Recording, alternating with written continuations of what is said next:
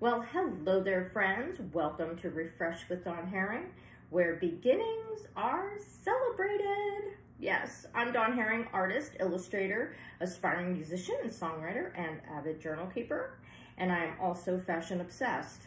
So, because I had a viewer yesterday request that I do a fashion styling video, which I will card here, I decided to do another one because I had so much fun. Yes, I did. So today's focus is on color blocking. Yes, today I chose several garments that are all solid color. Uh, I started with the under tank for layering, and then I have a tunic length red knit top, long sleeved, and the top layer is a dynamic cut cardigan sweater in wine.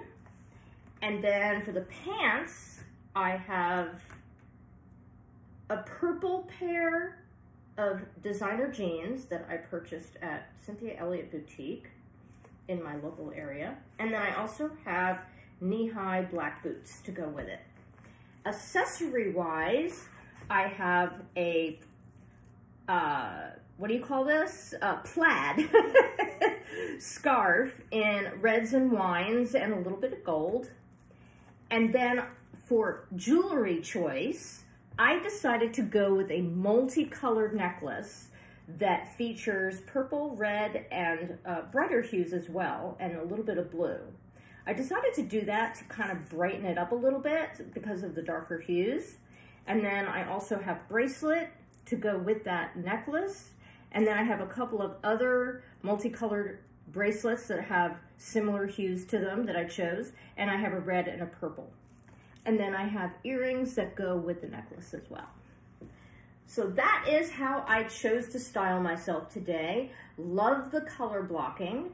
And for this particular outfit, I have never worn these three pieces together before, which is always fun when you try something different from your wardrobe and see how it all goes together. And I'm loving it.